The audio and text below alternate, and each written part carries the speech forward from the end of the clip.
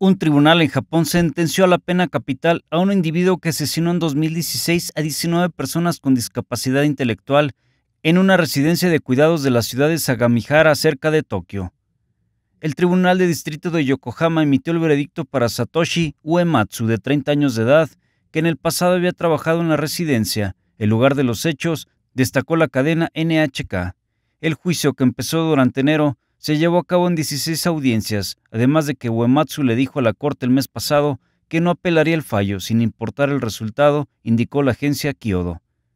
La fiscalía pidió la pena de muerte ya que su proceder fue extremadamente cruel, mientras que su defensa argumentó que era mentalmente incompetente.